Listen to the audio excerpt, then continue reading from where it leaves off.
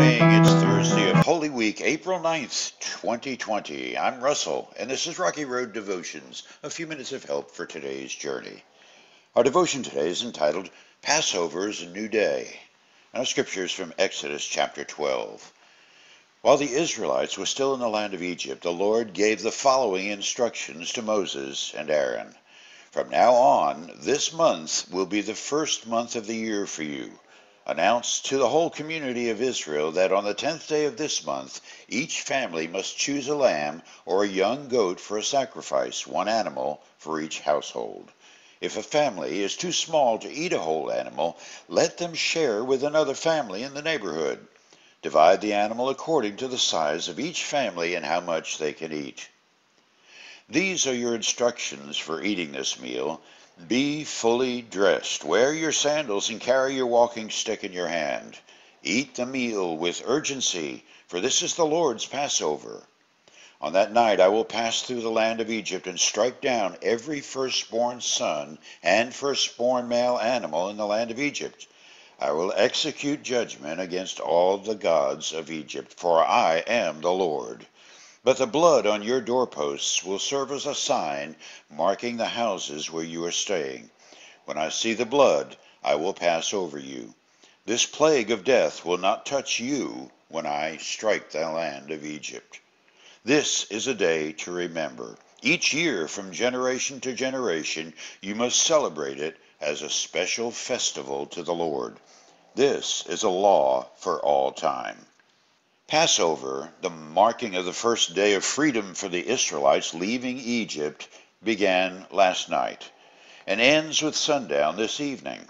Jewish families will gather at the table and recite scripture. They'll explain their epic history of being God's chosen people, joyful, worshiping people, disobedient, sinful people, and, like us, forgiven people. They will eat the meal of haste and remember. And as part of the remembering process, they'll think on the new order of things as God instructed them to consider this date as their new year. After 400 years of slavery, they were getting a do over, released from bondage to liberty. This was their 4th of July, a new, released, and back on mission family of God. I can't help connecting this new day feel to what we're experiencing right now.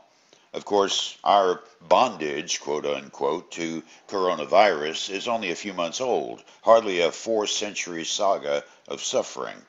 But I cannot help shaking the thought that we are on the cusp of a new normal that's game changing. And if you're asking exactly what that means, I have to demur speculation in favor of fuzzy. I only have an impression that something looms large for the human race. I will tell you what I hope, and that for which I pray. It's Revelation 22:20. 20. He who is the faithful witness to all these things says, Yes, I am coming soon. Amen. Come, Lord Jesus. But absent of the fulfillment of that final prayer and promise of Scripture, the other possibility in my mind and heart is a regeneration of respect. Respect for our tongues and ears where there's a kinder, gentler, more positive tone in daily speak in conversations, media, and any interaction between humans. Respect for our stewardship of God's resources. Respect for being what God created, not what our darkness imagined. And respect for God Himself, a regeneration of refreshing revival. Our world has had enough of terrorism, plagues, and living in fear. It's time to get along and live the love of Passover's new day. For you today, the role of the church is not exhausted just because we've been locked out of our buildings. Somehow, it seems, the church is reborn every time the pressure cooker of life starts to blow off steam. This day is our new chance to get it right. You chew on that as you hit the rocky road. Have a blessed day.